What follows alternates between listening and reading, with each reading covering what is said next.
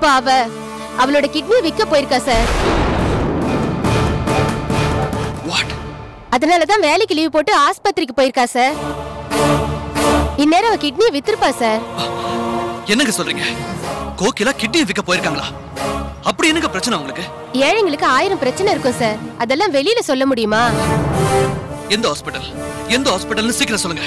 ஆஸ்பத்திரி என்ன ஏதுன்னு எனக்கு தெரியாது சார் ஆனா அந்த கிட்னி புரோக்கர் பார்வதி அம்மா மட்டும் எனக்கு நல்லா தெரியும்.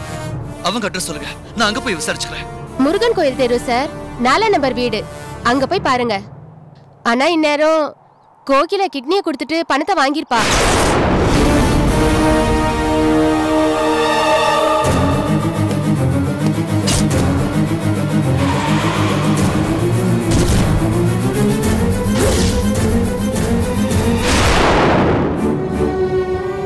இங்க பாரு கோகிலா. உன்கிட்ட எல்லா விவரத்தையும் சொல்லிட்டேன். கடைசி நேரத்துல ஹாஸ்பிட்டல்ல வந்து காலை வரக்கூடாது. புரியுதா? ஐயோம்மா நான் அப்படிலாம் பண்ண மாட்டேம்மா. எனக்கு எப்படியாவது ஒரு லட்சம் கிடைச்சா போதும். சரிம்மா. டாக்டர் உன்கிட்ட வந்து கேப்பாரு. யாராச்சும் உன்னை கிட்னி கொடுக்க சொல்லி கட்டாயப்படுத்தினாங்களான்னு. திரும்ப திரும்ப கேப்பாரு. அப்போ நீ ஒண்ணும் உளறி கொட்டிட மாட்டியே. சத்தியமா எதுவுமே சொல்ல மாட்டேன். மனப்பூர்வமா தான் கிட்னியை குடுக்கறேன்னு சொல்லுவேன். பணத்துக்காக விக்கிறேன்னு சொல்ல மாட்டியே? அ- அப்படிலாம் எதுவுமே சொல்ல மாட்டேன். என் உயிரே போனாலும் சொல்ல மாட்டேன். சரிம்மா நான் உன்னை நம்புறேன். ஆனா கிட்னியை தானமா வாங்குற பார்ட்டி உன்னை நம்பணும்ல? இங்க பாருமா அதனாலதான் உனக்கு பரிபூரணமா சம்மதம்னு எழுதி வாங்கிட்டு வர சொன்னாங்க. இதுல எல்லாம் விவரமா எழுதியிருக்கேன் நீ படிச்சு பார்த்துட்டு கையெழுத்து போடு. எதுக்குங்க படிச்சுக்கிட்டு? நான் கையெழுத்து போட்டுடுறேன்.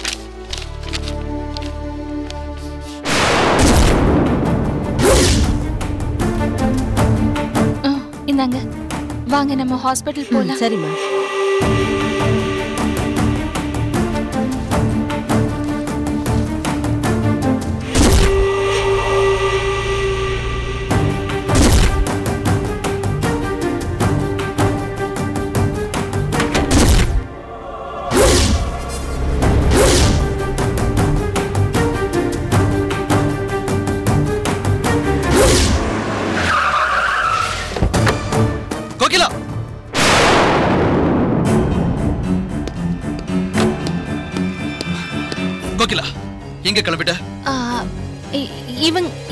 சொந்தக்காரங்க.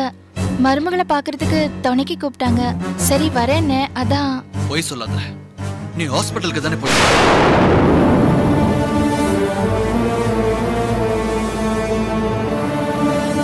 கிட்னியை கொடுக்க போறியாமே? உண்மையாது சொல்லு கோகிலா. கிட்னியை தானம் கொடுக்க போறியா?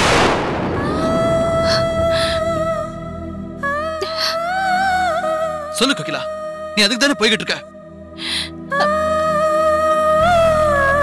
கிட்னியை தானே போய்கிட்டு இருக்க? சொல்லு கோகிலா. ஆமான்னு சொல்லுமா? அதான் கையெழுத்து போட்டு கொடுத்திருக்கியே. இனி என்ன பயம்? தைரியமா சொல்லு. சார் கிட்னி கொடுக்க தான் இவங்க கையெழுத்து போட்டு கொடுத்திருக்காங்க. வேணா பாருங்க.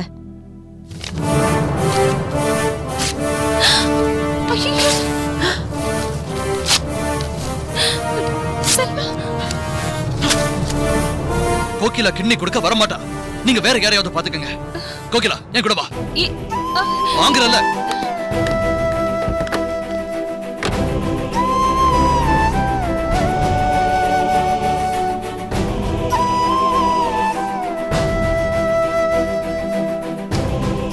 எதுக்காக கிட்னியை கொடுக்க போனேன் அப்படி என்ன பிரச்சனை உனக்கு?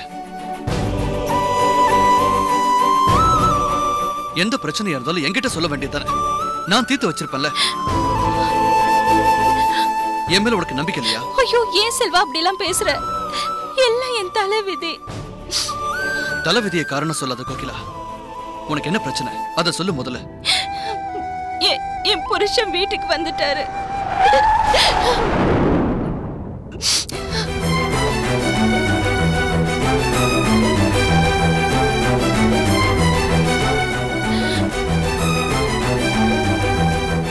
வந்தவர். என் குழந்தை எங்கன்னு கேட்குறாரு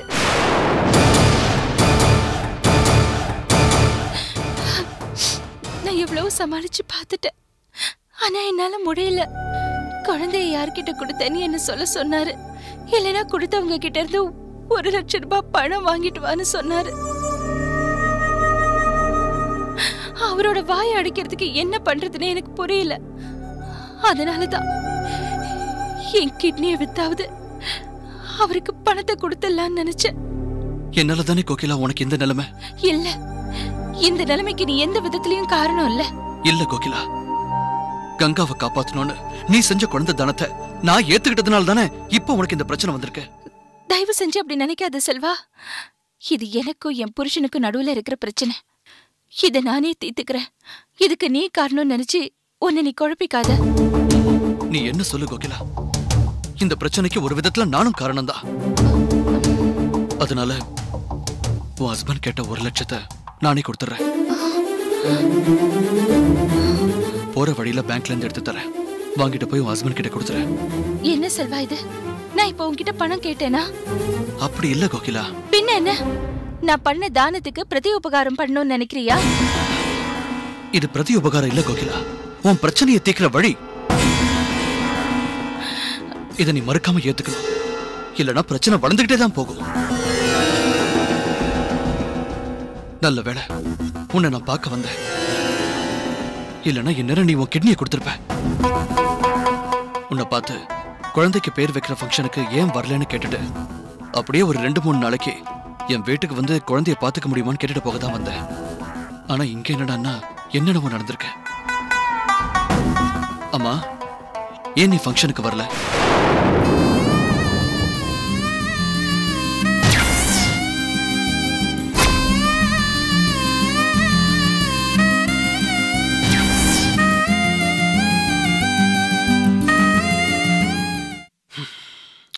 அந்த ஃபங்க்ஷனே நடக்கல தெரியுமா?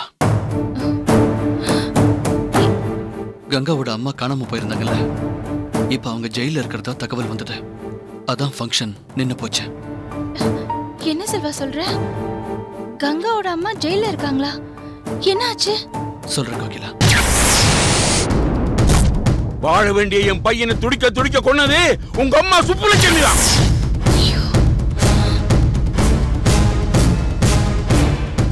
இப்போ ஹாஸ்பிட்டல்ல எங்க அத்தை யாரோ கொல்ல ட்ரை பண்ணிருக்காங்க.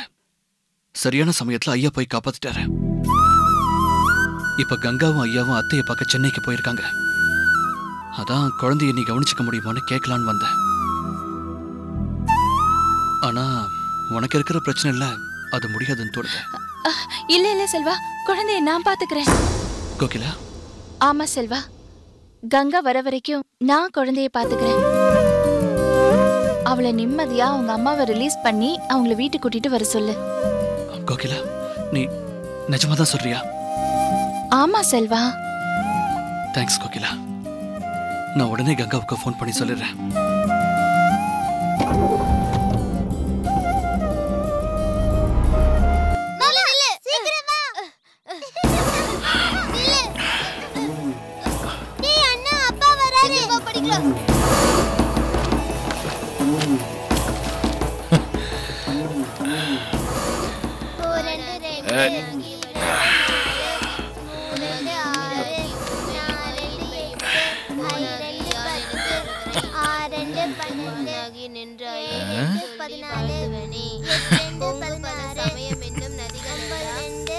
ஏ செல்லங்களா என்ன படிக்கிறீங்களா?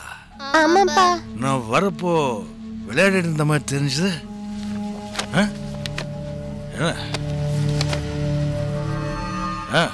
அது வந்துப்பா நாங்க விளையாடின நீங்க அடிப்பீங்களோ பயந்து தான்ப்பா அப்படி சொன்னோம். அப்பா அம்மா அடிச்ச மாதிரி எங்களையும் அடிப்பீங்களாப்பா? அப்பா அம்மா அடிச்ச மாதிரி எங்களை அடிச்சா எங்களால தாங்க முடியாதுப்பா.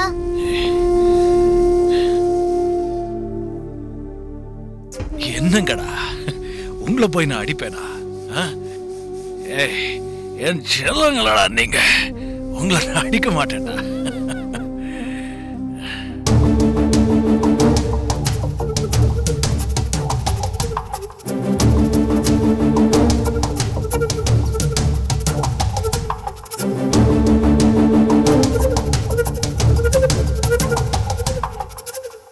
ஏ கோக்கி கண்ணு. வந்துட்டியா?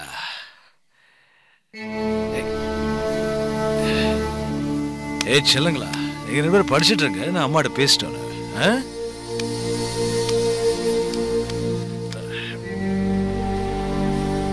ஏ கோகிலா கண்ணு.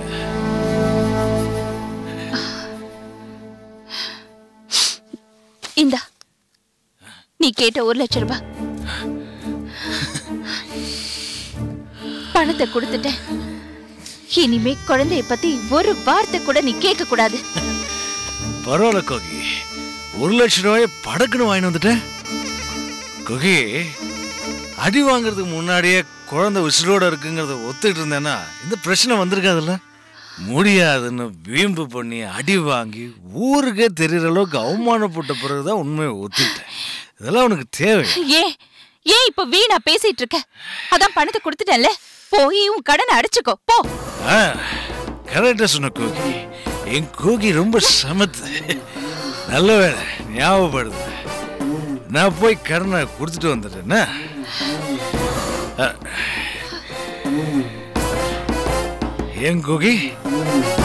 கேட்ட உடனே ஒரு லட்ச ரூபாய் தூக்கி கொடுத்தாங்கன்னா குழந்தைய நல்ல விலைக்கு தான் பேசி வித்திருக்க போ இல்லை. குழந்தைய வாங்கினவங்க பெரிய பணக்காரங்க போல. ஆ? எவ்வளவு கேட்டாலும் கொடுப்பாங்களோ? சாரி பணம் வாங்கினதுக்கு அப்புறம் குழந்தைய பத்தி கேட்க மாட்டேன்னு சொன்னால மறந்துட்டேன். இனிமே நான் குழந்தைய பத்தி கேட்க மாட்டேன். ஓகே? நான் போய் தேங்க்யூ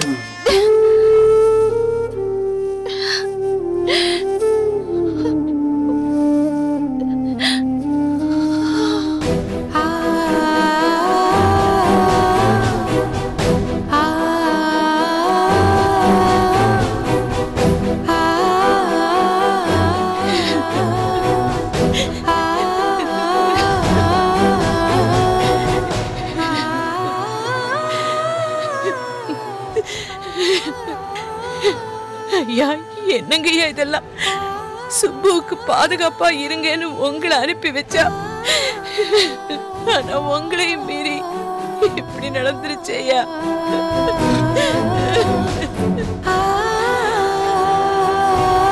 தங்கம் நீ.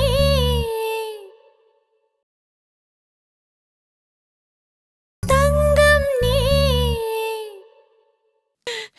டாக்டர் அம்மாக்கு எப்படி இருக்கு டாக்டர்? பயப்படாதீங்க மேடம். உங்க அம்மா பொழைச்சிட்டாங்க.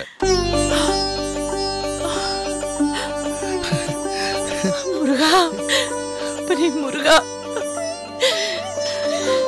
அவங்கள ஆபரேஷன் தியேட்டர்ல இருந்து ஐசி வார்டுக்கு மாத்திட்டோம். மயக்கம் தெளிய இன்னும் மூணு மணி நேரம் ஆகும். அதுக்கப்புறம் போய் பாருங்க. ரொம்ப நன்றி டாக்டர். ரொம்ப நன்றி. நாங்க எங்க டியூட்டியை தான் செஞ்சோம். மத்தபடி அந்த ஆண்டவன் தான் உங்க ஒய்ஃபை உயிரோட திரும்ப கொடுத்திருக்காரு. நீங்க உங்க நன்றியை கடவுளுக்கு சொல்லுங்க.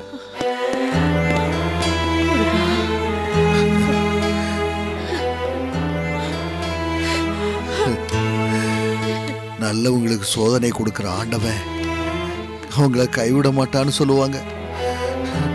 அது என் சுப்பு விஷயத்துல உண்மையாயிடுச்சு? கங்கா சுப்பு நல்லபடியா பொழைச்சிட்டதுனால நம்ம ஊர் எல்லையம்மனுக்கு பட்டு சேலை வாங்கி உன் கையால போத்தணுமா? செஞ்சிடலாம் பெரியமா எல்லையம்மனுக்கு செய்யறதோட ஊரே கூட்டி விருந்தும் வைக்கணும். பண்ணணும் கங்கா. கண்டிப்பா பண்ணணும். நீ உடனே ஊருக்கு போய் இதுக்கான ஏற்பாட்டெல்லாம் பண்ணுமா? இல்ல பெரியமா அம்மா கண் முழிச்சதும் அவங்கள பார்த்து பேசிட்டு தான் போவேன். வேணாண்டா. சுபுவை நானும் ஐயாவும் பாத்துக்கிறோம் நீ கிளம்பு ராஜா. ஆ, ஆமா கங்கா. சுப்பு தான் பொழைச்சிக்கிட்டாளே. நீ புறப்படுமா? என்னப்பா? நீங்களும் இப்படி சொல்றீங்க? அம்மாவை யாரோ குத்திட்டாங்கன்னு தெரிஞ்சதும் ரொம்ப பதட்டப்பட்டு வந்திருக்கேன்ப்பா. அதுக்கு இல்லம்மா குழந்தைய விட்டுட்டு. ஆமா கங்கா. நீ உன் அம்மாவை பத்தி நினைக்கிற. அதே மாதிரிதான் உன் குழந்தைய உன்னை பத்தி நினைச்சுக்கிட்டு இருக்கோம். பால் குடிக்கிற குழந்தைமா அவன். பசிச்சு அழுதா என்ன பண்ண முடியும்? நீ புறப்படுமா? இந்த மாதிரி நேரத்துல குழந்தைக்கு அம்மாவோட அரவணைப்பு முக்கியமா உன் உடம்பு சூட்டில் தான் அவன் நிம்மதியா தூங்க முடியும். அதனால சுப்பு பத்தி நினைச்சு நீ கவலைப்படாம நீ கிளம்பு கங்கா. இல்ல பெரியமா குழந்தைய பாத்துக்க ஏதாவது ஏற்பாடு பண்ணிக்கங்கன்னு அவர்கிட்ட சொல்லிட்டு தான் வந்திருக்கேன். அவர் பார்த்துப்பார் பெரியமா நான் அம்மாவை பாத்துக்கிறதுக்கு இங்கேயே இருந்துடுறேன் பெரியமா ஆமா கங்கா. குழந்தைக்காக மட்டும் இல்ல அங்க எல்லாரும் சுப்புவுக்கு என்ன ஆச்சோ ஏதாச்சோன்னு பயந்து பதட்டத்துல புறப்பட்டு வந்துருவாங்க அம்மா. நீ போய் விவரத்தை சொல்லி அவங்கள சமாதானப்படுத்துமா? அப்பா. அப்பா நான் சொல்றேன்ல. நாங்க சுப்புவை பாத்துக்கிறோம் நீ போய் குழந்தைய கவனிமா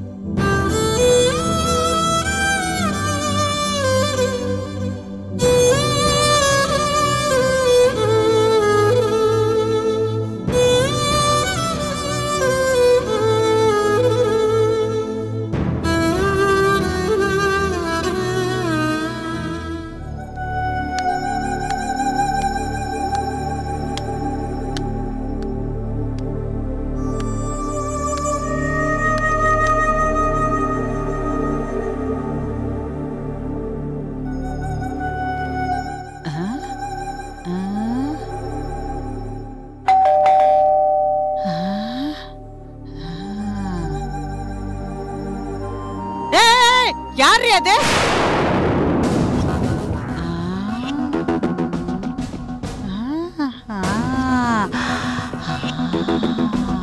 நீ குழந்தைக்கு பேர் வைக்கிற ஃபங்க்ஷன்ல வந்திருந்திய. நான் கூட உன்னை கழுத்து பிடிச்சு வெளியில தள்ளி விட்டேனே. அவதானே நீ. ம், இங்க எதுக்குடி வந்த?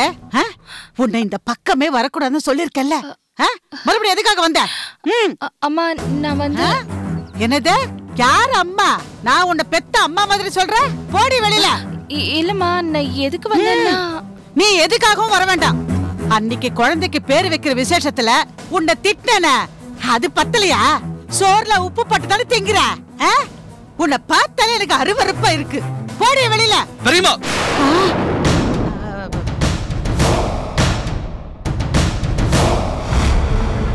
கோகிலா பெரியம்மா சொல்றதெல்லாம் உண்மையா?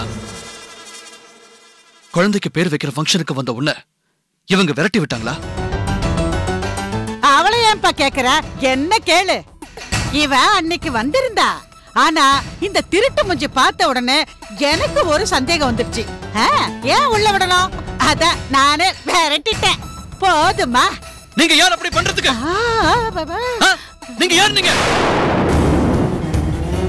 அப்பா இவங்க ஹாஸ்பிடல்ல வேலை பார்க்கற ஆயாப்பா.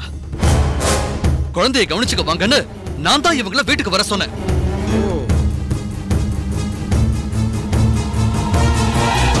அதுக்காக வந்தவங்கள வாசல்ல நிக்க வச்சு கேவலமா பேசி வெளியே போன் விரட்டுறாங்கப்பா.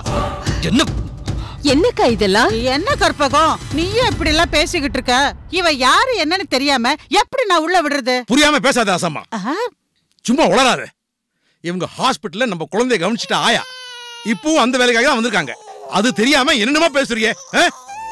செல்வா. குழந்தை அழுதுட்டு இருக்கான் உங்களை போய் பார்க்க சொல்லு. இல்லைங்க. பரவாயில்ல. ந- நான் கிளம்புறேன். கொஞ்சம் இருமா. அக்கா ஏதோ தெரியாம சொல்லிட்டாங்க. கங்கா வர வரைக்கும் நீயே குழந்தைய பாத்துக்க வாமா உள்ள.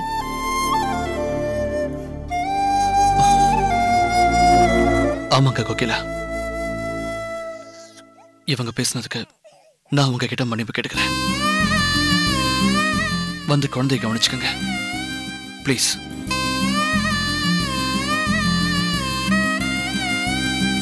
வாமா.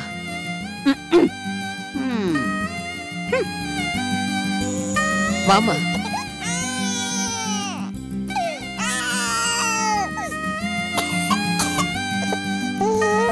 ஓ. அழக்கூடாது அழக்கூடாது. வா வா வா வா வா. அழக்கூடாதுடா. பரவாயில்லையே. உன்னை பார்த்ததும் குழந்தை அழுகையை நிறுத்திட்டா?